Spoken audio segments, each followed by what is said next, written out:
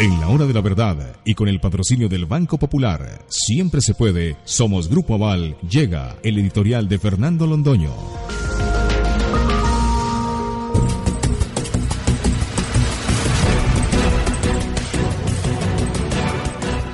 No vamos, no vamos a discutir, no hay para qué.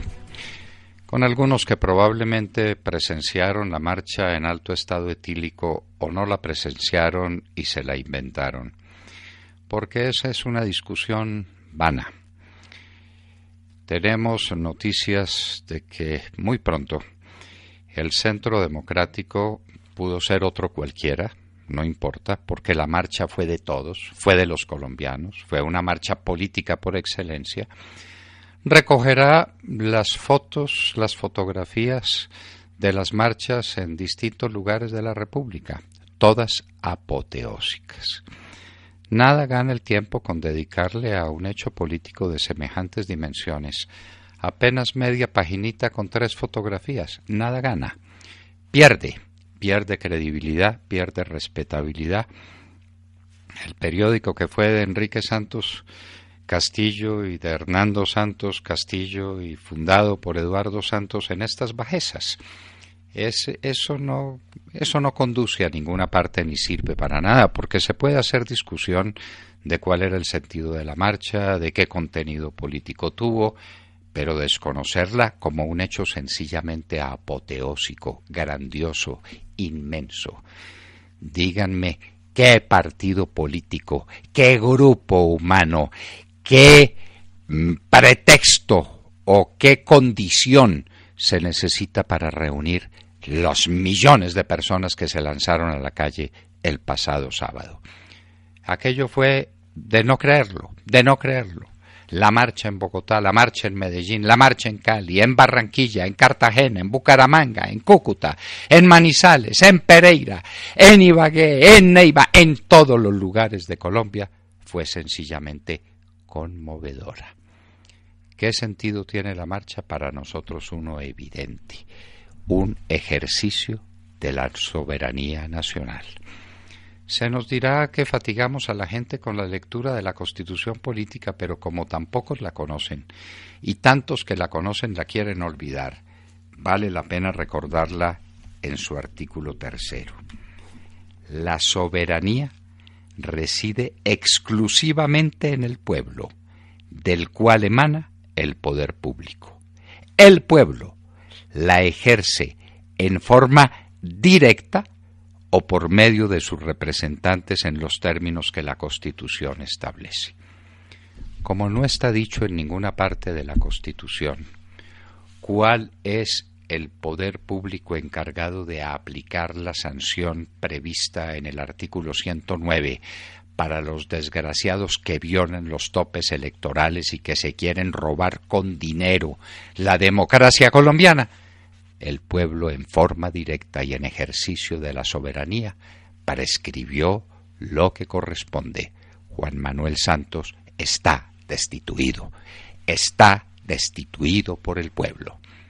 Santos el mismo que no quiso atender las voces del pueblo colombiano el 2 de octubre del año pasado, cuando de manera mayoritaria y apabullante le dijo no a su plebiscito maldito, a la entrega del país a las FARC.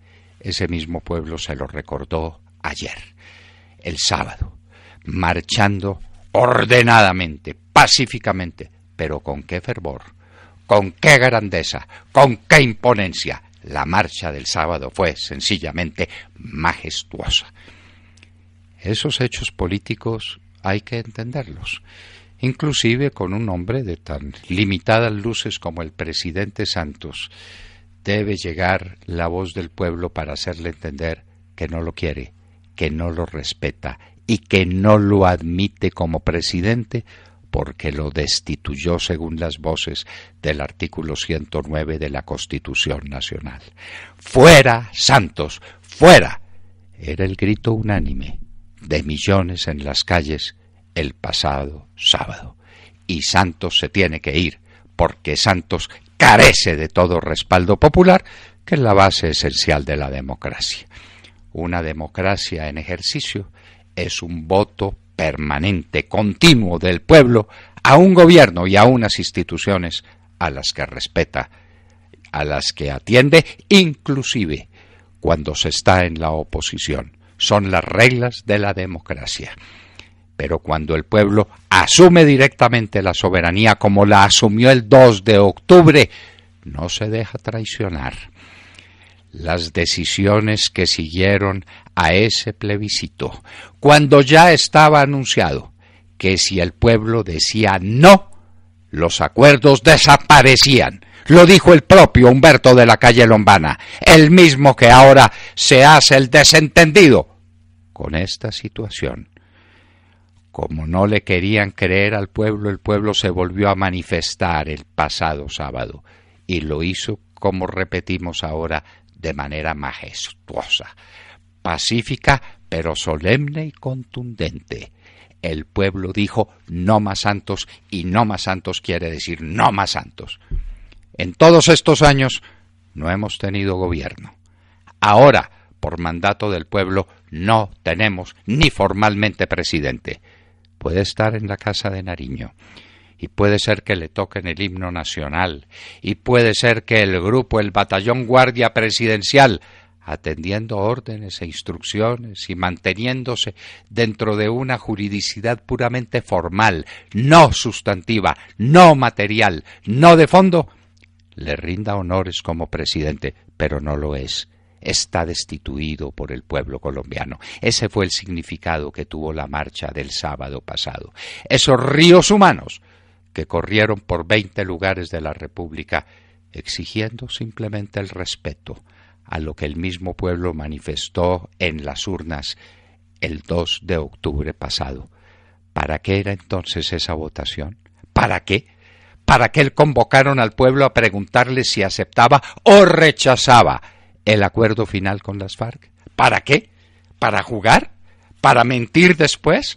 para negociar sin negociar y negociar con quién. Porque el soberano, a la luz del artículo 3 de la Constitución Nacional, es el pueblo que ejerce su soberanía de manera directa cuando no hay servidores públicos encargados de la aplicación de esa norma. Y en esta materia, en la materia que se refiere al fondo y a la fuente, al principio de la legitimidad política, ahí no hay intermediario posible el pueblo habló. Juan Manuel Santos no es presidente de la República, ha sido destituido por el pueblo colombiano. No lo vamos a notar. Tanta ha sido la ausencia de gobierno en todos estos años. Pero ahora reclamamos, como colombianos, el derecho a ser gobernados, el derecho a la legitimidad, el derecho a la decencia y al decoro. Ya se nos han robado suficientemente el país como para que podamos persistir en este latrocinio. No, el pueblo dijo no, dijo fuera santos, y esa voz del pueblo, del soberano, que ejerce directamente la soberanía, tiene que ser atendida. Otra cosa sería una traición y una claudicación. Y lo dijeron todos, hombres, mujeres, niños, de todos los grupos sociales, de todas las condiciones, de todas las edades. El pueblo dijo, fuera Santos, y Santos está fuera. Los colombianos trabajan, estudian, se esfuerzan, dedican su tiempo y hacen todo lo que esté a su alcance para lograr lo que se proponen. En el Banco Popular les decimos, siempre se puede. Hoy queremos que nos ayuden a comprobarlo con su motivación y positivismo. Es hora de comenzar a hacer realidad eso que tienen en mente. Banco Popular, somos Grupo Aval. Vigilado Superintendencia Financiera de Colombia.